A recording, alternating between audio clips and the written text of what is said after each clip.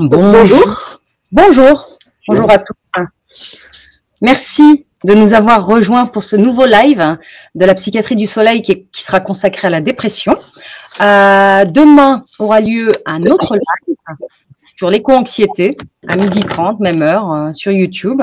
Et vendredi 21 octobre, dans la foulée de ce live d'aujourd'hui, un, troisième live sur la dépression résistante. Donc, on abordera euh, le sujet plus spécifiquement. Euh, ces trois lives sont organisés dans le cadre euh, des CISM, des semaines d'information sur la santé mentale, qui se déploient nationalement. Et, voilà, donc vous avez la parole, vous allez pouvoir poser toutes vos questions sur la dépression. La dépression qui est le trouble psychique le plus fréquent en France et dans le monde. Elle peut intervenir à tous les âges de la vie, euh, de l'enfance au grand âge.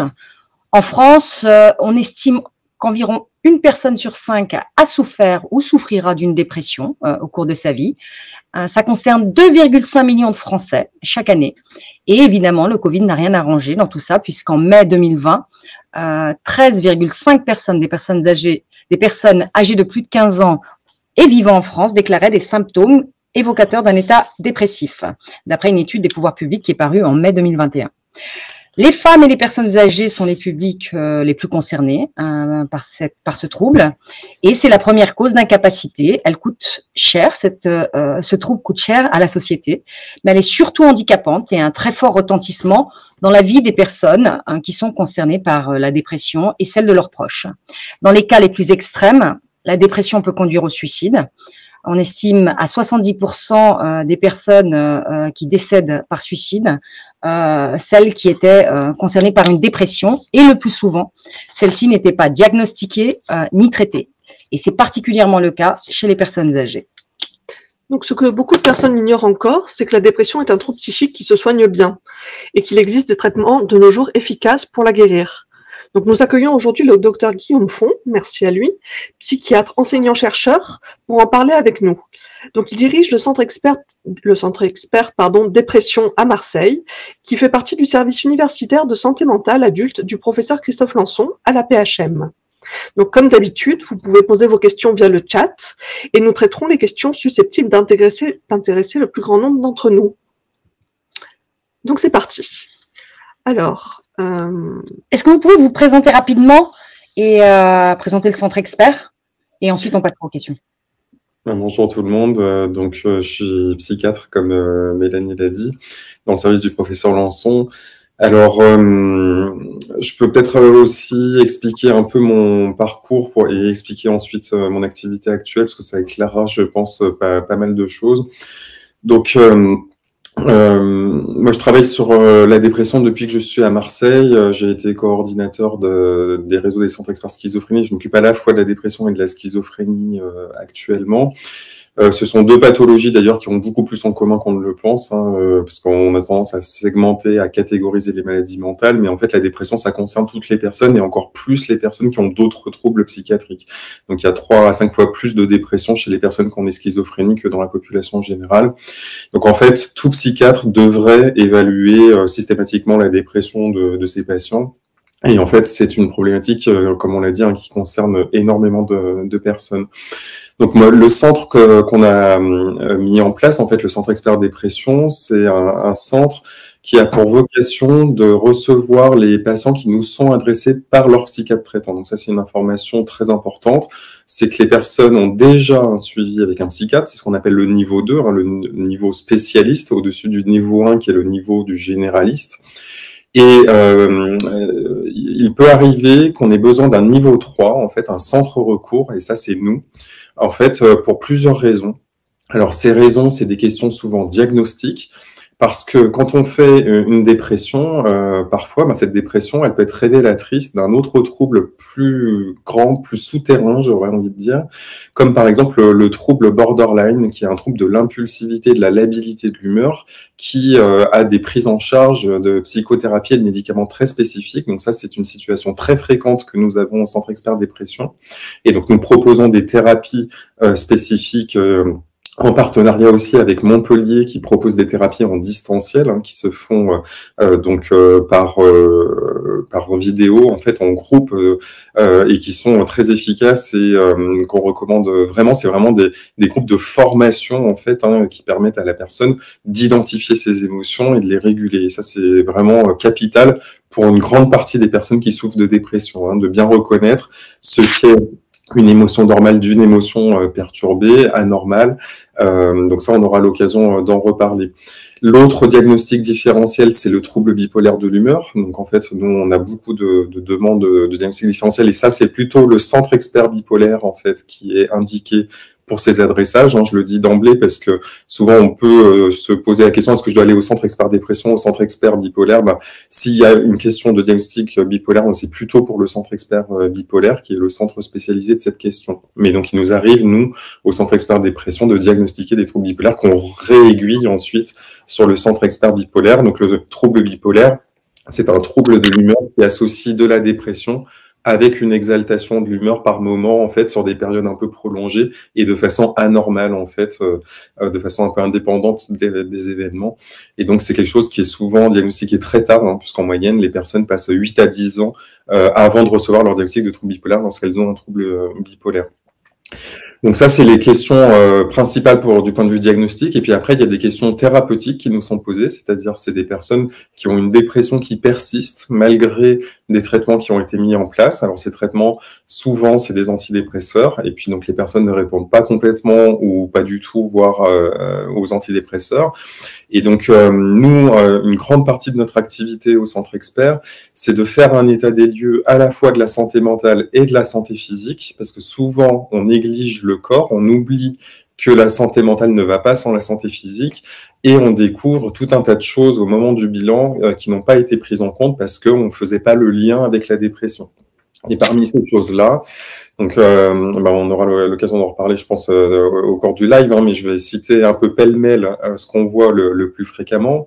Donc, il y a des situations de burn-out ou de harcèlement professionnel, par exemple, qui sont très fréquentes et qui sont souvent prises en charge trop tardivement, c'est-à-dire quand les personnes sont en phase d'effondrement dans la dernière phase du burn-out, et donc on aurait pu intervenir plus tôt. Donc, on fait beaucoup de prévention vis-à-vis -vis de ça. Donc, c'est du travail avec les généralistes, les psychiatres traitants, les médecins travail et les employeurs. Et donc là, pour ça, en fait, on a euh, rédigé un livre avec Sophie Reichmann, qui est euh, avocate, parce qu'il y a une dimension juridique là-dessus, euh, qui s'appelle Voyage au cœur de la souffrance, où on aborde le mécanisme du burn-out, le mécanisme qui conduit à l'effondrement, comment éviter l'effondrement, et puis si on est déjà en phase d'effondrement, qu'est-ce qu'on peut faire? Donc ça, c'est des, choses qu'on voit au Centre Expert Dépression. Euh, ensuite, il y a toutes les thématiques autour du mode de vie. Et en fait, en pratique, ça veut dire quelles sont les molécules qui rentrent dans mon corps et quelles, ont, quelles sont leurs conséquences sur le fonctionnement de mon corps et donc de mon esprit. Donc en pratique, quand je dis les molécules, c'est vraiment au sens large, hein, parce qu'on a, il est démontré maintenant que la pollution atmosphérique altère la santé mentale. Il y a une équipe à Créteil qui travaille là-dessus. Donc euh, c'est vraiment très large. Euh, quand je vais respirer un air vicié, ben, ça va créer de l'inflammation au niveau de mes bronches. Cette inflammation va entraîner ensuite des perturbations dans mon corps et ça, ça va altérer aussi le fonctionnement de mon cerveau. Et donc moi, je vais voir la partie émergée de l'iceberg en disant j'ai moins d'énergie, je, je suis plus anxieux, je me sens moins bien, alors qu'en fait c'est l'ensemble de mon corps qui peut être impacté aussi par une mauvaise alimentation, par une sédentarité, donc une absence d'activité physique, euh, ou par du tabac hein, qui est très banalisé. On sait bien les effets de l'alcool sur la santé mentale. Par contre, il y a beaucoup de personnes qui ignorent que le tabac est un facteur de risque de dépression. Je pense que c'est un des messages importants aujourd'hui à transmettre. C'est euh, que la dépression est beaucoup plus fréquente chez les fumeurs. Et donc, euh, une des premières choses qu'on peut proposer comme intervention, c'est d'arrêter le tabac. Et au Centre Expert Dépression, on propose des stratégies pour arrêter le tabac. Alors, il y a des livres qui sont euh, comme le livre du docteur euh, Alan Carr euh, qui s'appelle La méthode simple pour arrêter la cigarette, hein, que je recommande à nos, aux, spectateurs. Et puis, le, il y a des sprays de nicotine, les gens souvent ont utilisé les patchs et disent les patchs, ça marche pas. Mais en fait, les patchs, ça libère la nicotine de façon constante, alors que les sprays, en fait, ça va directement sous la langue et ça passe tout de suite dans le corps et c'est beaucoup plus efficace beaucoup plus rapidement. Donc il y a des petites choses comme ça qui sont pas toujours connues des généralistes et des psychiatres qu'on explique dans des comptes rendus très complets. Donc en fait, la façon dont ça se passe, c'est le, euh, le psychiatre ou le généraliste, mais c'est on préfère plutôt le psychiatre pour avoir une euh, observation plus précise et plus complète, nous envoie en fait une, un courrier médical et une observation assez détaillée de l'histoire de la maladie et de la liste des, des traitements qui ont déjà été euh, essayés. On essaye d'avoir les informations les plus précises possibles, mais on a beaucoup de difficultés à les obtenir souvent. Et donc ça, c'est un autre message important pour les personnes qui nous écoutent, c'est que si vous avez des problèmes de dépression, créez-vous un dossier médical. C'est vraiment très important euh, vous faites-vous une pochette très complète vous gardez vos ordonnances, vous vous écrivez en fait les traitements que vous recevez, euh, l'effet qu'ils vous font en positif ou en négatif. Gardez quelque chose de bien structuré parce que ça, ça va gagner beaucoup de temps pour la suite de votre prise en charge. Et tout ça, en fait, nous, on le synthétise ensuite dans le compte rendu. Donc, plus vous avez d'informations en amont, plus le compte rendu va être précis et plus ce sera efficace pour la suite de votre prise en charge. Parce que nous, on voit souvent des personnes qui ont plusieurs années de dépression, voire parfois plusieurs décennies de dépression, et en fait, qui ne savent plus ce qu'ils ont reçu comme traitement, à quel moment, pendant quelle durée, quelle efficacité. Et ça, on perd beaucoup de temps parce qu'on recommence des choses qui ont déjà été parfois essayées. Et ça, c'est vraiment dommage. Ensuite, ce qu'on voit beaucoup, en fait, c'est que il y a des interventions qui devraient normalement être proposées dès le départ qui souvent, euh, pour X raisons, ne sont pas proposés. Alors, c'est X raisons, c'est le manque de formation des professionnels. Donc, c'est aussi pour ça qu'on fait ce live aujourd'hui, parce que c'est aussi, c'est à la fois pour les personnes concernées, leurs proches, mais aussi pour les professionnels de santé. Et euh, parce qu'il y a beaucoup de professionnels qui s'informent aussi par YouTube, hein, moi le premier. Donc, euh, c'est important de démocratiser comme ça le, les messages.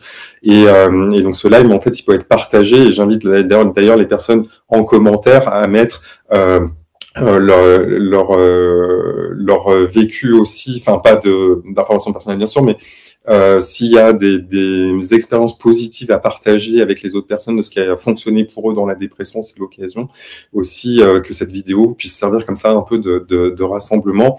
Et parmi donc ces choses à proposer qui sont trop peu fréquemment proposées, on a cité donc l'activité physique. Hein. Maintenant, il y a du sport sur ordonnance. Donc c'est pas, ça veut pas dire que c'est remboursé, mais ça veut dire qu'il y a vraiment des associations spécifiques dédiées soutenues par les mairies. Donc nous, on en a une par exemple à Marseille, il y en a une à Salon de Provence, et il y en a partout en France, c'est en train d'essaimer. Donc ça, c'est vraiment quelque chose euh, de fondamental en fait, hein, de rappeler que notre corps, il est fait pour bouger. En fait, le mouvement, c'est la vie. Et donc, quand on est en état de dépression, souvent, on se dit, je vais attendre d'aller mieux sur le plan de la dépression pour ensuite me mettre au sport. En fait, c'est l'inverse. Il faut d'abord faire bouger son corps pour ensuite que la dépression s'améliore. Et ça, c'est compliqué à faire rentrer un peu. Enfin, il y a, y a, quand même aussi beaucoup de, de collègues qui, qui, disent on prend le, le, le problème un peu à l'envers. Euh, voilà, c'est pas si simple que ça. Oui, c'est pas simple de se mettre au sport quand on fait pas de sport. Hein. C'est quelque chose. Euh, changer ses habitudes d'une façon générale, c'est pas facile, y compris pour les changements d'alimentation. On va en parler hein, parce que il y a aussi beaucoup de personnes. Donc nous, on fait une évaluation systématique de l'alimentation au centre expert dépression de Marseille. C'est pas fait dans tous les centres experts de France, donc euh, c'est un peu une originalité euh, de Marseille, mais on espère qu'à l'avenir ça deviendra la norme. On est en train de développer un questionnaire alimentaire qui s'appelle Alimental, et donc j'invite les personnes d'ailleurs à y participer. On pourra mettre le lien euh, en description. C'est une étude où il y a déjà 6000 participants et on est en train de la déployer au niveau international. Donc il y a l'Allemagne qui va participer, le Canada participe déjà avec 800 personnes au Canada. Et en fait, ça prend une quinzaine de minutes.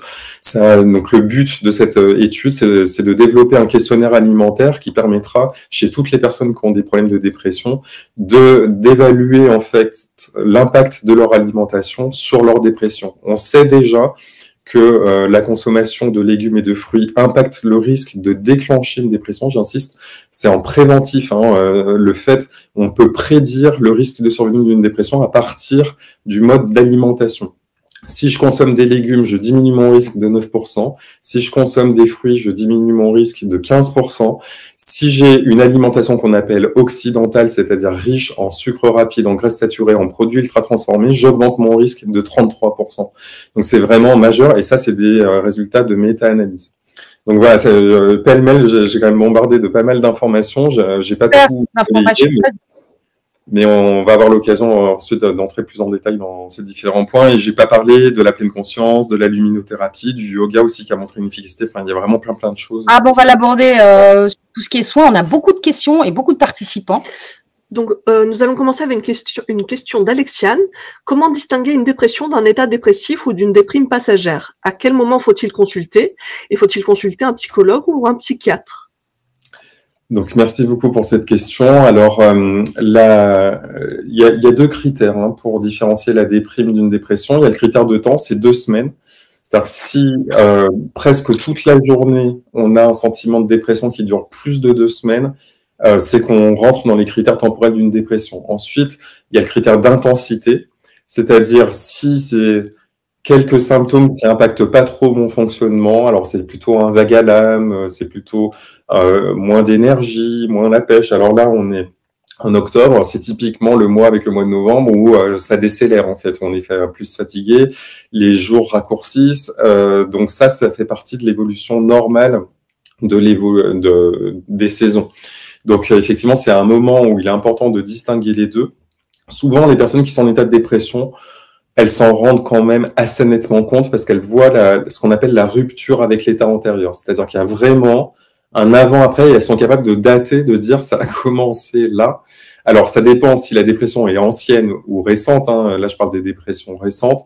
Quand la personne vient nous voir pour un premier épisode dépressif et qu'il est relativement récent, elle peut quand même assez nettement dater en disant ça, j'ai commencé vraiment à, à, décliner à ce moment-là. Et parfois, il y a un facteur déclenchant et parfois, il n'y en a pas. Donc ça, c'est important aussi de le garder à l'esprit.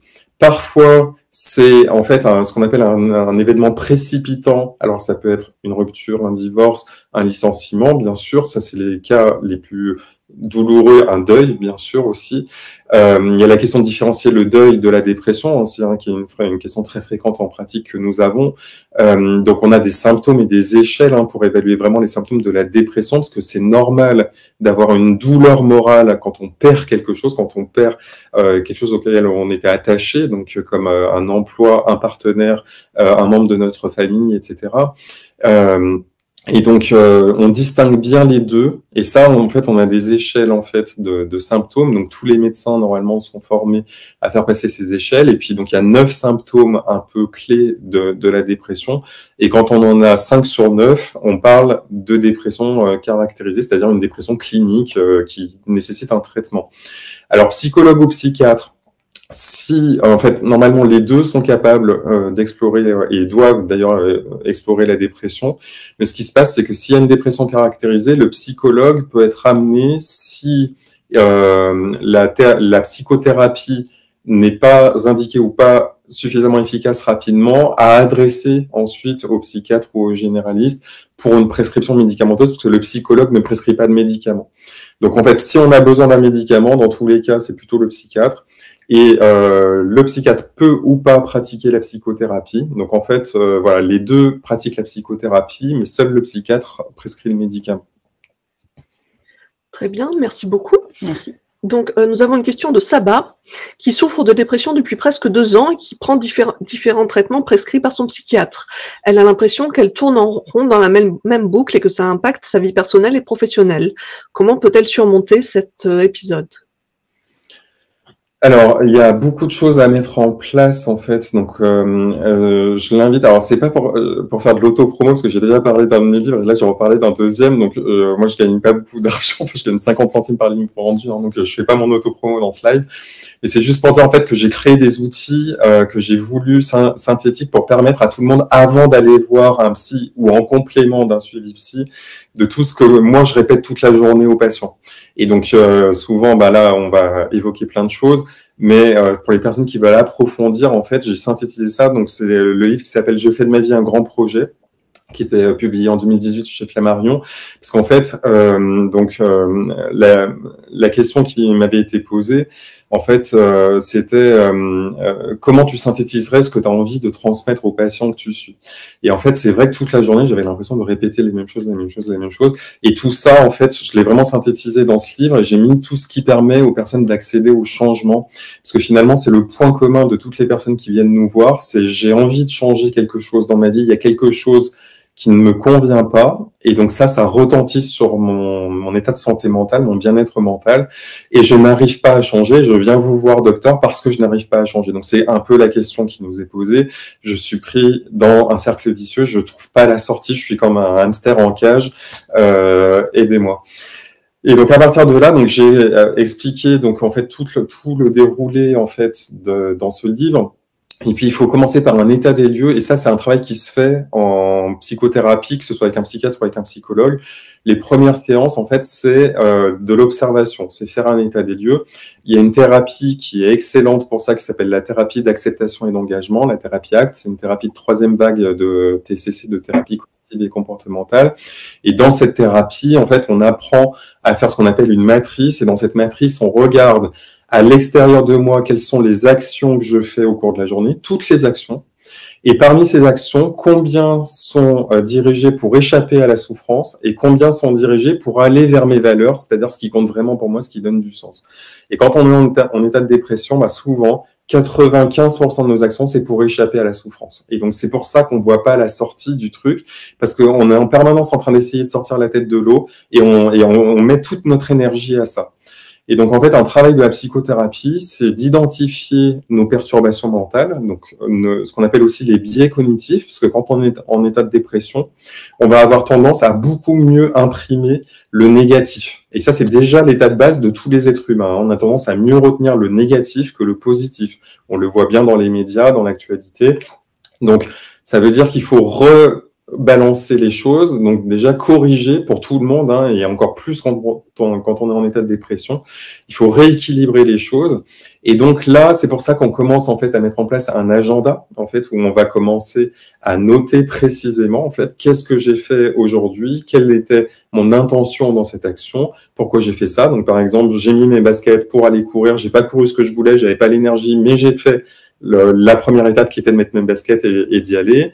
Euh, j'ai euh, pris des médicaments. Donc, est-ce que je les prends pour échapper à la souffrance ou est-ce que je les prends pour aller mieux? Et donc, parfois, c'est les deux en même temps aussi. Donc, euh, c'est aussi de distinguer est-ce que mes médicaments, voilà, je pense aux anxiolytiques par exemple, c'est souvent pour échapper à la souffrance, alors que les antidépresseurs, c'est pour soigner la dépression. Donc, c'est important de pas mettre tous les médicaments dans le même panier parce que souvent, il y a des personnes qui disent ah là là, c'est pas bien les médicaments, mais en fait, ça dépend lesquels et dans quelle intention aussi. Puis certains sont absolument nécessaires à certains moments. Et puis euh, Ensuite, il va falloir analyser plus largement. Euh, donc euh, là, je ne pourrais pas répondre à toute la question parce que vous voyez qu'en fait, c'est des sujets de plusieurs séances de psychothérapie. Euh, il faut aussi aller regarder les interactions euh, donc avec nos proches, en fait, qui sont les personnes que je fréquente le plus. On dit qu'on est la moyenne des cinq personnes qu'on fréquente le plus.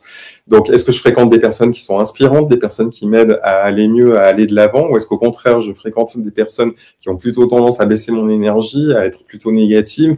Donc c'est pas toujours simple hein, parce qu'on peut pas changer sa famille, euh, voilà. On peut, mais par contre, on peut augmenter le temps et la disponibilité d'esprit qu'on donne à certaines personnes qui sont bonnes pour nous. Donc euh, en regardant des vidéos inspirantes sur YouTube, par exemple, euh, en lisant des livres qui, qui nous inspirent le, matin au cours d'un rituel du matin. Donc tout ça, on peut euh, le mettre en place, bien qu'on reste exposé à un patron qui euh, nous euh, fait du mal, qui nous parle mal, euh, à un conjoint qui lui-même peut être en difficulté, peut être aussi présent. Enfin voilà, toutes les difficultés qu'on sera tous amenés à un moment ou à un autre à faire face dans notre vie. Super. On a beaucoup de questions, donc euh, on continue. Donc avec Mystère, qui nous demande, euh, qui nous dit avoir débuté une dépression à 19 ans du jour au lendemain, et cette personne demande s'il peut y avoir des signes avant-coureurs qu'elle aurait pu repérer avant de, la dépression. Alors je salue Mystère parce que du coup elle met des, régulièrement des commentaires sur les vidéos, donc je la remercie pour euh, d'être aussi présente en fait et aussi engagée. Alors les signes avant-coureurs, ça dépend. Euh, ça dépend de chaque personne. Euh, avant 19 ans, je pense que c'est compliqué parce que en fait, l'esprit est tellement labile au cours de l'enfance et de l'adolescence. Il y a plein de choses qui se passent, il y a plein de bouleversements. Quand on est enfant, on peut présenter des symptômes de dépression qui peuvent être un marqueur de dysfonctionnement dans la famille. C'est ce qu'on appelle l'enfant symptôme. Quand on est adolescent, il y a la puberté, il y a les bouleversements hormonaux, euh, il y a du stress euh, lié au changement de son corps, de son apparence physique, de son interaction sociale. On peut être victime de bullying, c'est-à-dire le harcèlement par les pairs. Euh, donc en fait, quand on est enfant et adolescent, en fait, on est aussi le reflet beaucoup plus, on est beaucoup plus perméable et vulnérable aussi à tout ce qui se passe autour. Et donc il faut toujours distinguer la part de finalement qu'est-ce qui est un peu entre guillemets intrinsèque et qu'est-ce qui est extrinsèque, sachant que les deux sont intimement liés quand même, parce qu'en fait, on est en permanence modelé par ce qui nous arrive, y compris à l'âge adulte. C'est juste qu'à l'âge adulte, on est moins labile, souvent on se stabilise. C'est pour ça qu'on dit que la personnalité commence à se stabiliser autour de 19, 20, 21 ans, et qu'après, euh, quand on parle du trouble borderline, par exemple, on, ne pose pas le diagnostic avant 18 ans. Donc, euh, donc voilà, c'est des, des questions qui sont compliquées. Après, donc il y a les éléments de de prédiction euh, statistique. Alors, euh, c'est qu'on sait que quand on a une famille où il y a beaucoup de gens dépressifs et ou suicidaires, bah, on est soi-même plus à risque de faire une dépression ou d'avoir des idées suicidaires. Donc, donc, hmm, parfois de regarder l'histoire de sa famille, ça informe sur tous les risques médicaux qu'on a, pas que de la dépression, ça peut être pour l'hypertension, le diabète. Et ça, en fait, la sagesse, c'est d'orienter ces éléments-là pour justement prévenir et faire en sorte soi-même de ne pas déclencher les troubles. Moi, par exemple, je sais que j'ai une grand-mère euh, euh, diabétique et que j'ai 15% de risque de développer un diabète au cours de ma vie. Donc, euh, il faut que je fasse très attention à mon alimentation et à, mon activité physique. Mais j'ai envie de dire comme quasiment tout le monde, parce qu'en fait, les facteurs de risque de diabète sont les mêmes que ceux de cancer, d'hypertension et de dépression. En fait, les facteurs de risque de dépression, dans la population générale, c'est les, mêmes, on les a cités, hein, la sédentarité, la mauvaise alimentation, le tabac.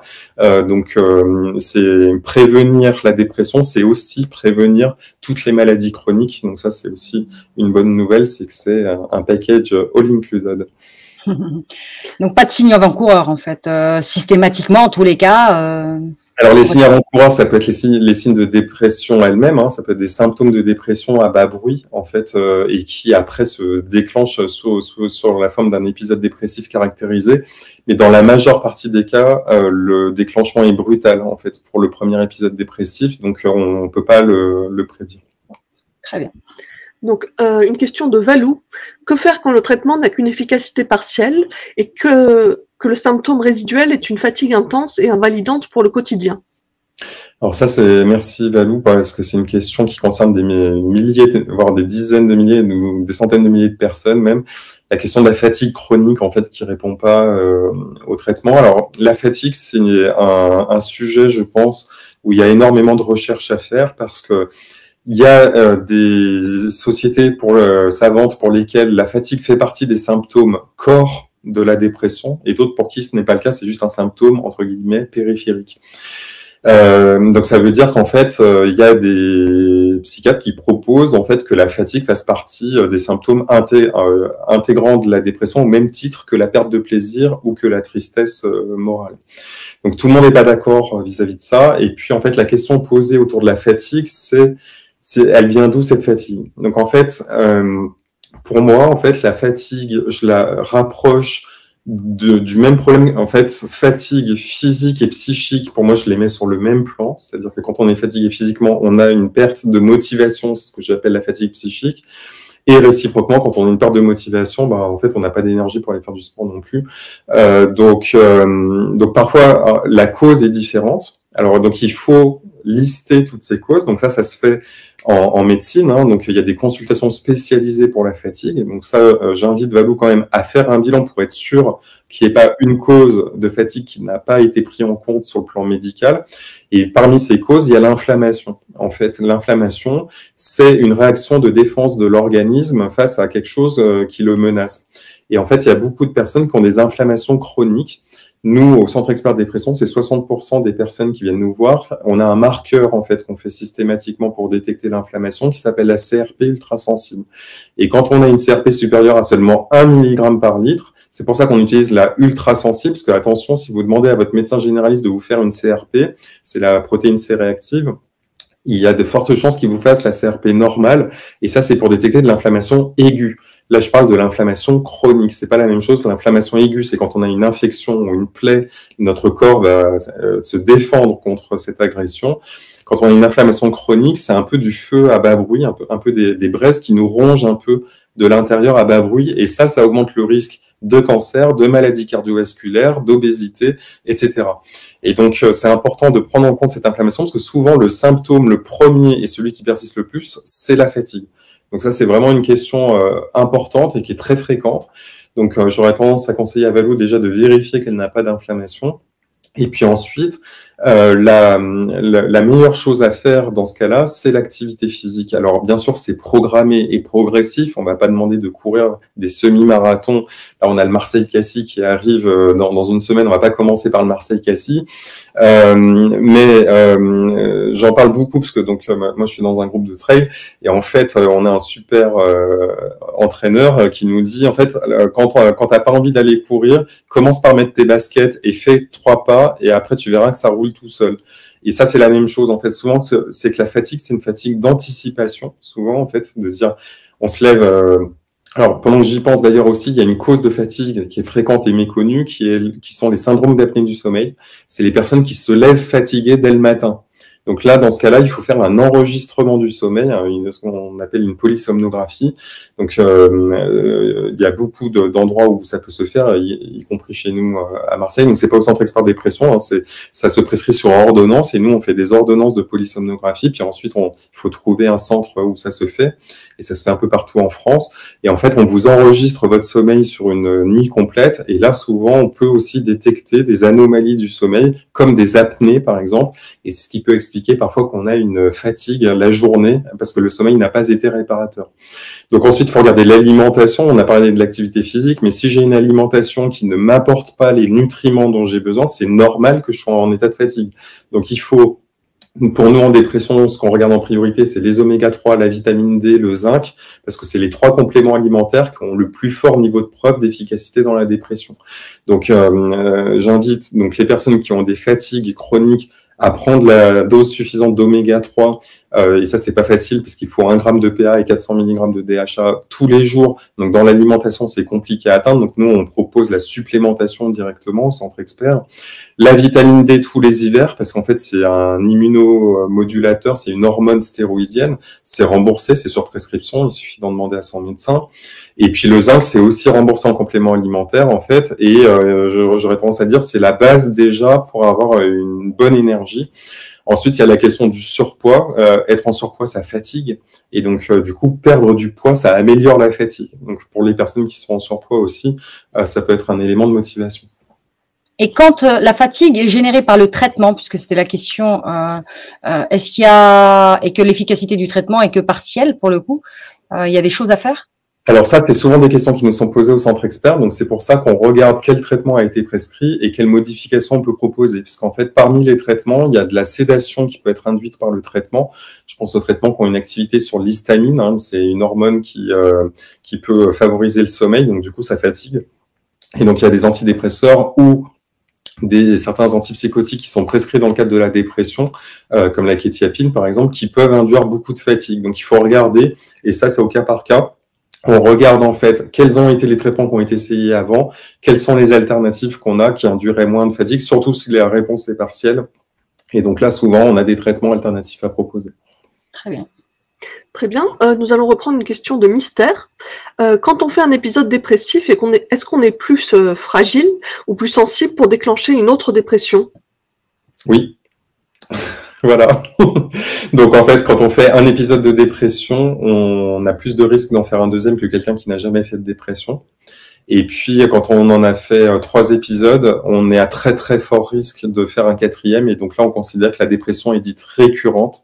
C'est-à-dire qu'en tout cas, si on ne change pas les facteurs de risque de dépression, il y a toutes les chances que la dépression revienne. Et dans ce cas-là, donc on va vraiment regarder en profondeur quels sont les facteurs de maintien ou de récurrence de la dépression chez la personne. Et c'est tout ce que j'ai cité. Donc là, on va recommander la pratique de la pleine conscience, l'alimentation anti-inflammatoire, l'activité physique, au moins 150 minutes d'activité modérée par semaine. Euh, ça, c'est la base. L'arrêt du tabac. Et puis ensuite, aller regarder les, les relations interpersonnelles, augmenter donc les, euh, interactions avec les personnes inspirantes. Et puis, euh, en psychothérapie, euh, travailler sur la, la thérapie de la gratitude, par exemple. Donc, c'est une thérapie de psychologie positive qui permet d'augmenter sa compétence à ressentir la gratitude. Et ça, on sait que c'est le meilleur moyen de s'opposer au sentiment de dépression. Euh, donc, il y a énormément de choses à faire. Très bien, merci beaucoup. Euh, une question de Ofa Zineb. Bonjour, est-ce que la personne qui cache ses angoisses et le fait qu'elle ne parle pas, est-ce que ça peut évoluer vers une dépression? Alors, l'angoisse, euh, indépendamment qu'elle soit cachée ou non, est un facteur de risque de dépression. Et souvent, nous, on voit au centre expert des dépressions anxieuses. Et on sait en fait, alors c'est la mauvaise nouvelle, parce qu'en plus je dis ça à des personnes qui sont anxieuses, c'est que quand on a une dépression anxieuse, c'est un facteur de mauvais pronostic, c'est-à-dire que ça répond moins bien aux antidépresseurs. Attention, je dis bien aux antidépresseurs, ce qui ne veut pas dire que par contre, il n'y a pas d'autres traitements efficaces. Et ces traitements efficaces, souvent, en plus des interventions que j'ai citées sur l'alimentation, l'activité physique, la pleine conscience, ça va être des psychothérapies, souvent, en fait, ce qu'on voit beaucoup au centre expert.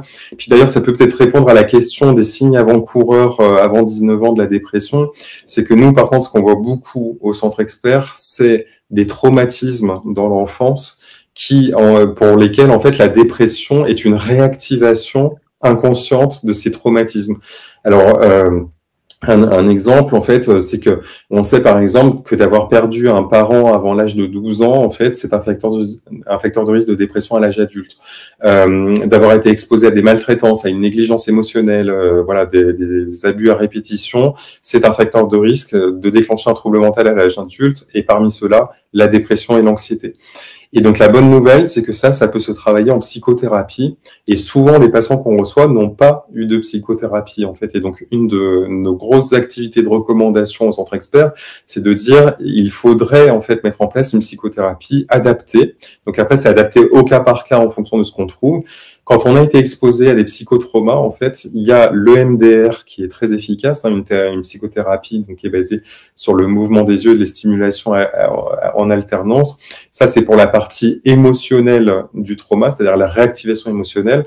Mais il y a aussi une thérapie qui commence à émerger, qui, je pense, sera la quatrième vague de TCC, qui est la thérapie de cohérence. C'est la thérapie de reconsolidation de la mémoire. C'est une thérapie qui nous vient du Canada et en fait, ça travaille sur la partie cognitive, c'est-à-dire sur les pensées associées à mon traumatisme qui se réactivent euh, sans que j'en ai conscience à l'occasion des événements de la vie ordinaire.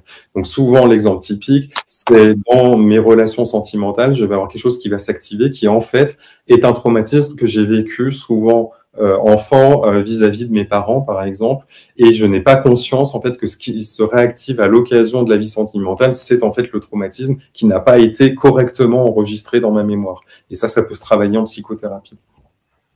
Merci beaucoup. Euh, nous avons plusieurs questions encore sur l'anxiété et la dépression. Donc, par exemple, les liens entre le trouble anxieux chronique et la dépression. Et est-ce que les troubles anxieux peuvent se prendre en charge de la même manière que ce qui est préconisé, avec les mêmes recommandations, dirons-nous, que la dépression? Alors, ce que j'ai cité pour activité physique, alimentation, tabac, euh, ça marche aussi bien pour l'anxiété que pour la dépression. Par contre, du point de vue médicamenteux, on sait que les troubles anxieux répondent moins bien aux antidépresseurs que la dépression. Donc en fait, euh, ils peuvent être efficaces chez une partie des patients, mais en moyenne, c'est pas suffisant. Donc, pour les personnes qui sont anxieuses, souvent, les antidépresseurs seuls, ça ne suffit pas. Donc, d'où l'importance de mettre en place tout le reste. Et de toute façon, tout le reste, c'est indispensable pour avoir une santé mentale solide. Euh, parce que si on compte juste sur le médicament, ça peut améliorer bien sûr les symptômes sur du court terme. Et pour beaucoup de personnes, c'est très important pour sortir la tête de l'eau. Mais par contre, après, il faut se poser la question, une fois qu'on est sorti de, la dépression, qu'est-ce qui m'a conduit à cette dépression? Et surtout, supprimer les facteurs euh, d'entretien, de maintien ou de risque de dépression dans ma vie. Et donc, euh, pour là, il faut après explorer le travail, la vie sentimentale, la vie familiale, tout ça. Et donc, ça, c'est un travail qui se fait avec le, le psychiatre ou le psychothérapeute. Très bien, merci beaucoup. Euh, nous avions une question sur la dépression masquée. Comment la détecter et comment s'en sortir? Je ne sais pas ce que c'est. Euh, peut-être que Toumia Benidak pourrait nous faire un commentaire pour nous préciser. Alors, euh, euh, juste pour faire un commentaire, parce que là c'est un peu une boutade, mais souvent la personne peut être dans le déni. En fait, c'est une question qu'on me pose souvent. C'est souvent des personnes qui me disent j'ai un collègue ou un conjoint qui est en dépression et qui est dans le déni. Qu'est-ce que je dois faire? Donc, je ne sais pas si la dépression masquée, ça, c'est ça la, question. Ou alors, euh, c'est la personne, je pense peut-être plutôt dans le cadre de la question qui nous est posée, c'est la personne qui ne montre pas ses symptômes dépressifs et qui lutte en permanence contre sa dépression. Alors d'ailleurs, j'en profite pour faire un aparté sur euh, le témoignage de Florence Foresti, en fait, qui euh, a témoigné sur sa propre dépression, en fait, et qui a expliqué que ça faisait 25 ans qu'elle prenait des antidépresseurs Et puis j'ai écouté les derniers albums de Zazie, de Stromae et de Christophe Willem et je pense qu'ils sont tous dépressifs. Donc, euh, je pense que là, euh, bon, déjà, ils n'ont pas eu malheureusement, je pense, la chance de trouver les bons psychiatres, hein, parce que je pense que peut-être qu'ils auraient plus de, de, chansons à faire ou de spectacles à faire si c'était le cas. Euh, et euh, mais c'est aussi pour dire en fait que ça touche énormément de personnes et qu'il y a beaucoup de personnes qui le masquent. Donc, dans le cadre de, de Florence Foresti, pendant 25 ans, elle explique qu'elle prenait des antidépresseurs et que personne n'en savait rien et que, et que c'est une maladie invisible et que c'est ça qui est très compliqué en fait avec la dépression, c'est que ça ne se voit pas, il n'y a pas de perfusion, il n'y a pas de voilà, et que les personnes qui n'ont pas vécu la dépression ne peuvent pas comprendre ce que c'est que de vivre une dépression. Et ça, elle le dit très bien, Florence Foresti. Et moi, ça m'a d'autant plus euh, chamboulé quand, euh, en plus, j'avais dit dans une des vidéos YouTube euh, sur la technique de diffusion, qui est une technique qu'on utilise en thérapie de troisième génération. En fait, c'est la diffusion, c'est quand on a une histoire qui nous fait souffrir, qui se réactive, quand on a le petit vélo, la, la rumination qui revient en permanence, et ben d'essayer de se raconter l'histoire avec la voix de l'humoriste qu'on préfère. Et moi, moi justement, c'était Florence Foresti, en fait. Et donc, on raconte la même histoire, mais avec l'humoriste qui, euh, qui, raconte l'histoire. Et on voit que ça permet de diffusionner tout de suite. C'est-à-dire que quelque chose qui nous paraît tout dramatique bah, nous paraît moins d'un coup moins dramatique en fait. Et c'est ça le pouvoir de l'humour aussi. Donc on peut pas rire de tout bien sûr, mais le, les humoristes ils ont aussi ce rôle-là de nous aider en fait à faire face à des choses très douloureuses et euh, de nous rappeler qu'on n'est pas seul aussi à faire face à ça. Donc euh, voilà, je sais pas si ça répond à la question de la dépression masquée, mais en tout cas euh, voilà, c'était plus une boutade. Mais nous, par définition, on voit pas de dépression masquée au centre expert dépression parce qu'en fait ils nous sont adressés par leur psychiatre. Merci beaucoup. Euh, une question de Igal Baumelin.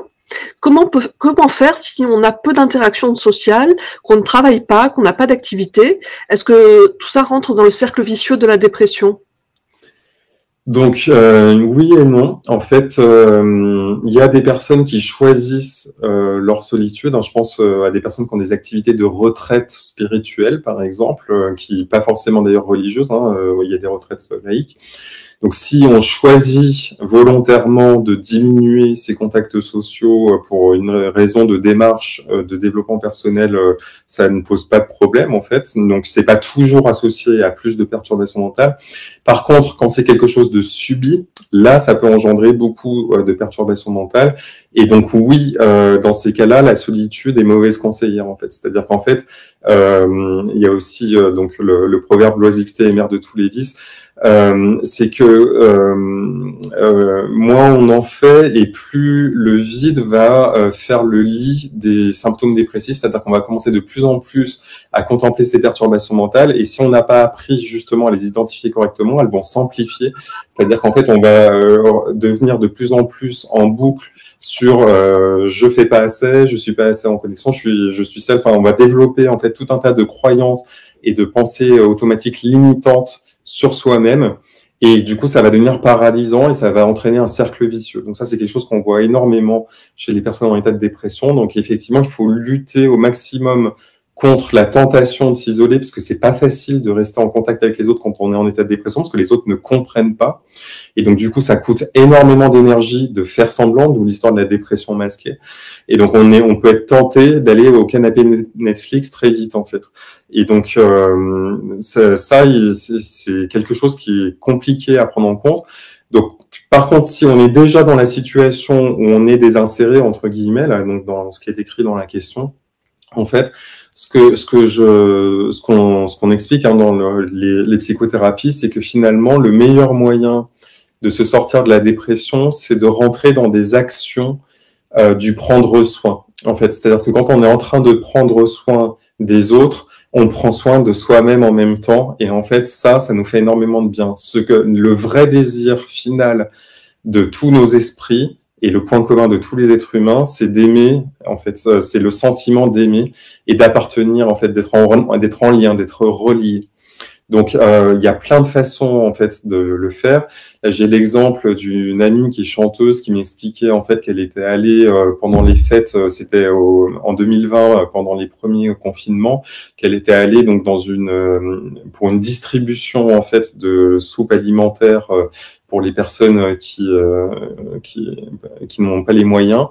et, euh, et que comme ça, et qu'elle se sentait euh, très isolée, qu'en plus, euh, comme elle était en confinement, en tant que chanteuse, elle ne pouvait pas exercer son art, en fait, donc pour elle, c'était très difficile, et que, en fait, en faisant la vaisselle pour les personnes, voilà, qu'elle était à la vaisselle, et eh ben qu'elle a rencontré quelqu'un qui, en fait, est devenu après son agent, ils ont développé une relation, et aujourd'hui, c'est un de ses amis les plus proches, euh, donc voilà, il y a, j'ai trouvé que c'était une belle histoire vécue. Hein, ça, ça, elle m'a raconté ça la semaine dernière euh, pour montrer qu'en fait faire la démarche initialement d'aller vers l'autre et d'aider, en fait d'être dans une démarche d'aide, c'est le meilleur moyen de se sortir de cet enfermement en fait qui nous mine quand on est dépressif. Merci beaucoup. Euh, une question d'Akabada. J'ai cherché des compléments alimentaires avec les apports de DHA et d'EPA que vous avez préconisés, mais je n'ai rien trouvé. Pouvez-vous conseiller une marque de compléments alimentaires ou peut-être une référence plutôt qu'une marque? Ou un endroit où les trouver Oui, ou un lieu. Bah, je peux, je suis obligé de dire la marque du coup parce que si je dis sur internet, euh, alors après je peux donner des indices indirects, hein, mais euh, bon, en fait, ce que je peux faire, c'est c'est peut-être donner deux marques pour euh, pas euh, voilà être trop dans la promotion. Mais en fait, c'est une question qui nous est posée tous les jours euh, au centre expert. Alors déjà, juste des recommandations générales. on peut trouver des produits souvent moins chers sur les sites de nutrition sportive ou sur des sites de nutrition en ligne que dans les parapharmacies où souvent du coup les produits sont plus chers. en parapharmacie, on trouve pas toujours les doses adaptées ou quand on les trouve, elles sont vraiment vraiment très chères. Donc c'est pour ça que je euh, bah, recommande hein, d'aller sur euh, sur internet euh, souvent. Par contre sur internet il faut se méfier parce qu'il faut regarder l'origine des produits. Donc il faut qu'il y ait un label qualité CE qui garantisse l'origine des produits. Ça c'est quand même très important parce qu'il y a des euh, des fraudes en fait qui existent euh, sur Internet où il y a des euh, reconditionnements pour changer les dates de péremption, tout ça. Donc si c'est pour manger des oméga 3 périmés, c'est pas la peine parce qu'en plus c'est même dangereux parce qu'en fait ça donne des acides gras trans quand c'est oxydé. Donc donc il faut faire attention à ça.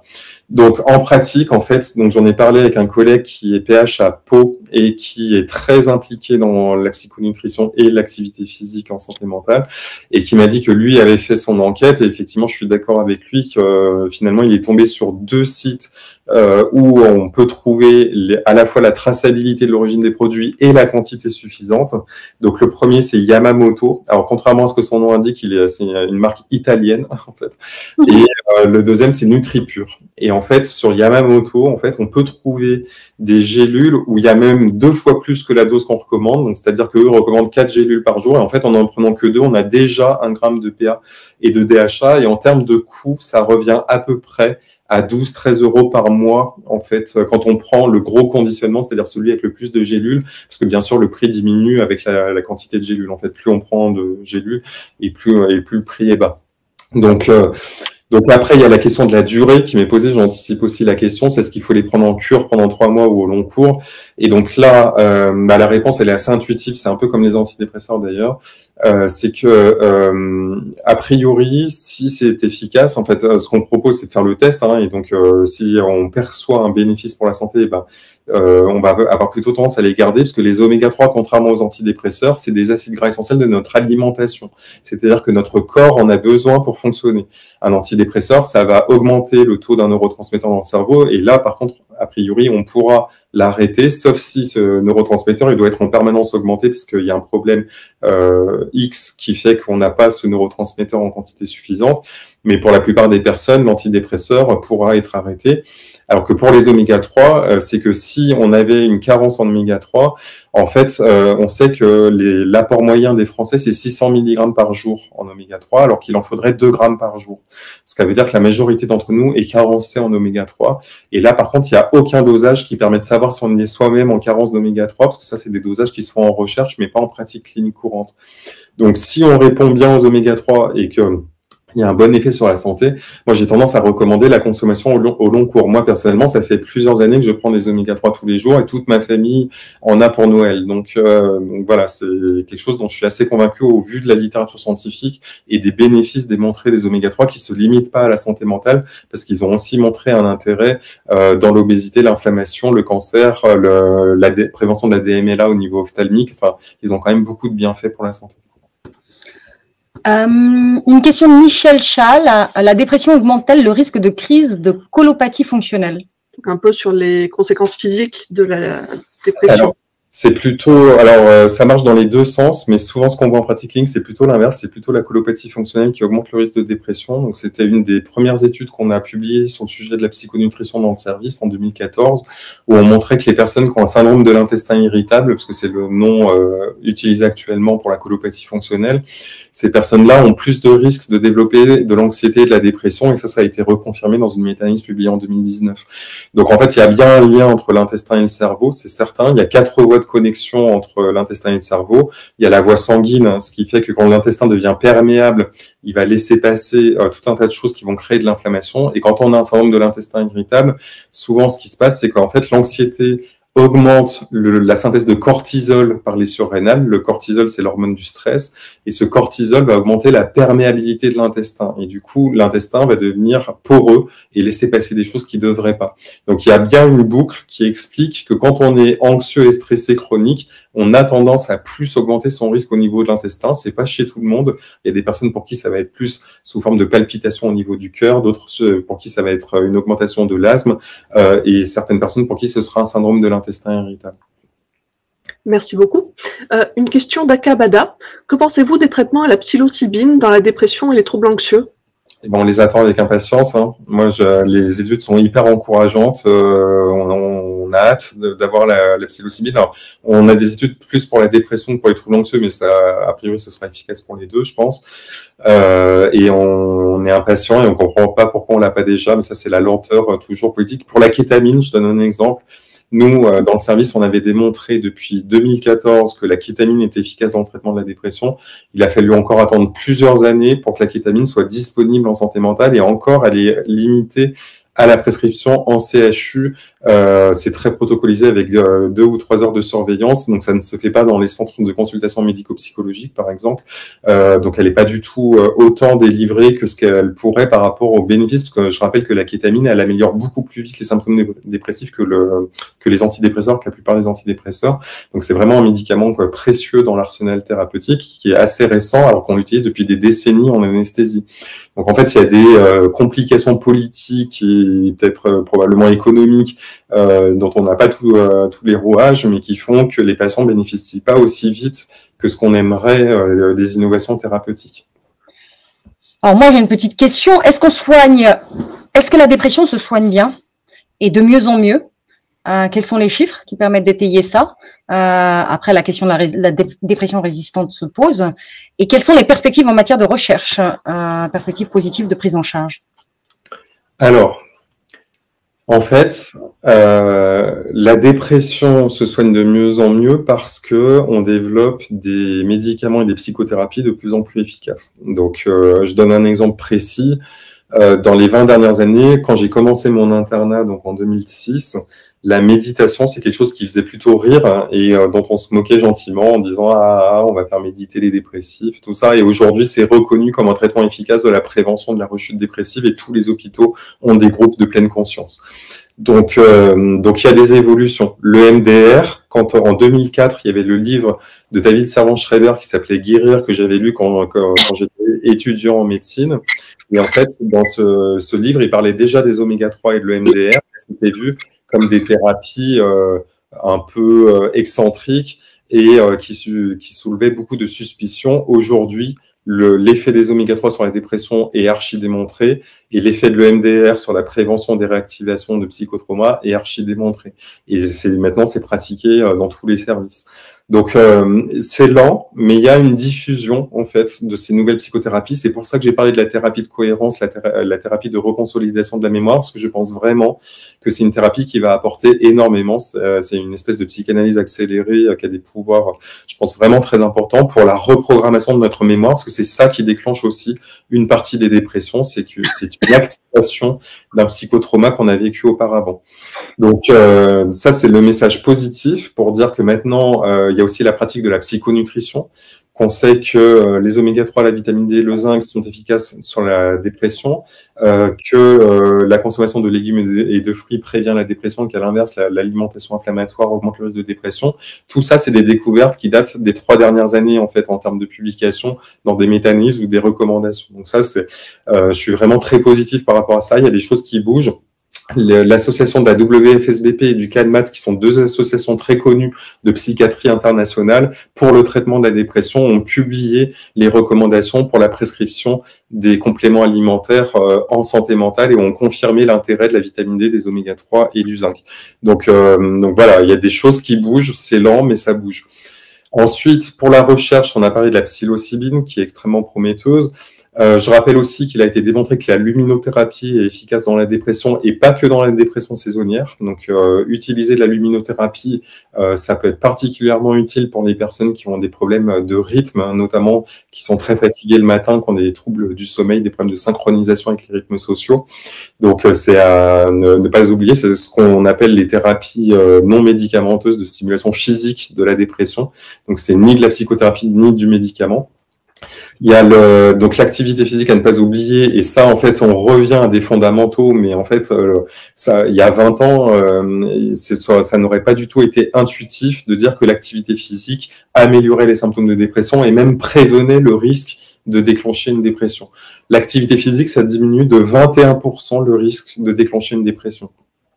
Alors, par contre, donc un deuxième côté un peu plus négatif, c'est que malgré tous ces progrès, la dépression a augmenté en France. Alors, euh, d'une part à cause du Covid, euh, donc on est à 15% de dépression actuellement, ce qui est énorme, alors qu'on était à 7% auparavant, donc euh, on a doublé la prévalence de la dépression en France. Mais je pense que c'est pas lié qu'au Covid en fait, c'est lié à tout un tas de choses qui sont aussi l'éco-anxiété dont c'est le sujet du live de demain, euh, sur euh, la peur de l'effondrement euh, et de, de l'impact de, de, notre civilisation sur le fonctionnement de la planète et qu'il faut vraiment prendre en compte. actuellement, en fait, la bonne nouvelle, c'est que les traitements de la dépression, en fait, enfin, je vais même dire quelque chose. c'est que les personnes qui ont fait une dépression dans leur vie sont plus éclairées que les personnes qui n'en ont pas fait pour la plupart, parce que faire une dépression, c'est prendre conscience de sa vulnérabilité et aussi de son mode de vie et de ce qui engendre dans notre mode de vie une souffrance sur le plan euh, de la santé mentale. Et donc, euh, je pense à l'alimentation, la mauvaise alimentation, mais aussi au rythme de vie, euh, au toujours plus qu'on voit dans le dans le dans le les secteurs d'activité avec des burn-out qui sont en explosion et des arrêts de travail liés au burn-out qui sont en explosion. Donc donc en fait, la question un peu ralentir ou périr, bah, c'est une question que tous les dépressifs se sont posés. Et, euh, et, et, du coup, euh, je pense qu'il y a une sagesse en fait euh, à tirer euh, de tout cela, c'est que euh, prévenir la dépression, c'est aussi prendre soin de l'environnement et plus globalement en fait, c'est développer plus de sagesse dans sa vie et aussi devenir plus inspirant pour les autres du coup, avec des activités qui sont plus tournées vers le prendre soin, vers l'amour, en fait, au sens de prendre soin, euh, plus que des activités qui pourraient être, par exemple, tournées vers du profit, de la lucrativité. Euh, donc, euh, donc moi, j'ai vu beaucoup, par exemple, de, de banquiers changer de vie à 35 ans en disant, en fait, ou dans la finance, ou en disant, je ne me reconnaissais pas du tout dans ce que je faisais, mon métier n'avait plus aucun sens, j'ai fait une dépression, et après ça, je me suis reconverti, je suis devenu kiné, je suis devenu aide-soignant, etc. Enfin, et du coup, les, les personnes ont vraiment changé de vie avec une vie qui est beaucoup plus en accord avec leurs valeurs et beaucoup plus inspirante. Et tout ça, ça peut se, travailler en psychothérapie, parce que ça fait peur, bien sûr. Merci beaucoup. Donc, il nous reste deux minutes. Peut-être une dernière question d'Abak Akabada, pardon, euh, qui parle des oméga 3 plus des champignons hallucinogènes et des techniques respiratoires holotropiques du psychiatre Stanislas Grof ou celles de Wim Hof. Excusez-moi si j'ai écorché les noms. Est-ce que ces techniques sont appropriées pour les troubles anxieux et la dépression? Alors, euh, oui, la respiration est importante. Euh, je ne l'ai pas cité, effectivement, mais au même titre que la pleine conscience et le yoga, en fait, les techniques de respiration peuvent considérablement améliorer l'anxiété surtout. Euh, pour la dépression, du coup, le fait d'améliorer l'anxiété améliore souvent les symptômes de dépression, parce que c'est souvent l'anxiété qui entretient et aggrave la dépression. Donc oui, oui, euh, euh, pour continuer sur ce que je disais, dans une logique de sobriété médicamenteuse, les techniques de respiration et de psychothérapie doivent être largement déployées pour améliorer en fait la gestion de l'anxiété, parce que trop de personnes ont tendance à prendre un anxiolytique ou un hypnotique en fait pour gérer leur anxiété. Alors toutes les anxiétés sont pas accessibles à la respiration ou à la, ou à la pleine conscience ou à la psychothérapie, mais quand même la majorité d'entre elles peuvent être régulées ou considérablement amoindries par des techniques adaptées en fait. Donc je pense à la cohérence cardiaque aussi, euh, il y a la respiration ventrale, enfin il y a beaucoup de techniques de respiration et dans le yoga ça s'est travaillé aussi. En fait le yoga on pense que son action sur la dépression elle passe à la fois par le corps, par la respiration et aussi par euh, la philosophie et la spiritualité qui entourent la pratique du yoga. Un grand merci. Un grand merci. On vous rappelle demain euh, le live à 12h30 sur YouTube sur l'éco-anxiété euh, et vendredi sur la dépression résistante. On a laissé de côté certains, certaines questions et certains témoignages. On les abordera vendredi. Euh, on vous donne rendez-vous à ce moment-là. Merci, docteur Font. Merci, docteur Font. À bientôt. À très bientôt. Au revoir à tous.